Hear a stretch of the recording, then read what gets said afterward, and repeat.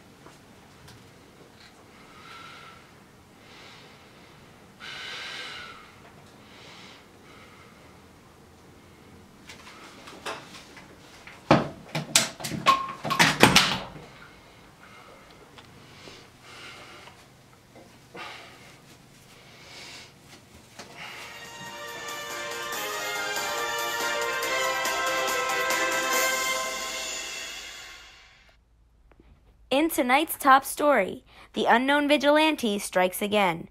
Labeled as the manhunter, he left his mark once more in the city, leaving a note stating, What I do to protect this country, and the body of Esteban Rodriguez. Rodriguez, also known as Serpent of Central Park, was found dead today with four of his cohorts in an uptown abandoned housing complex. Rodriguez was a prime suspect for the latest abductions case of 15 year old Jaylene Austin, who was found tortured and drowned to death in a pond in Central Park. After a string of attempted rape charges, he was found guilty of and paid for with a five year sentence. Due to good behavior, he managed to be released on parole. Current evidence strongly pointed toward him for the death of Jaylene Austin. Rodriguez's body was found in a bedroom. There reports to be no witnesses of this mysterious and possibly dangerous vigilante. Just who is this manhunter and what is his motive as a self proclaimed protector of Manhattan? Stay tuned at 10 p.m. Eastern Standard Time, where we will receive a full formal report from Police Chief Harold Flint. As this story unfolds, we bring to you HTS 7 News.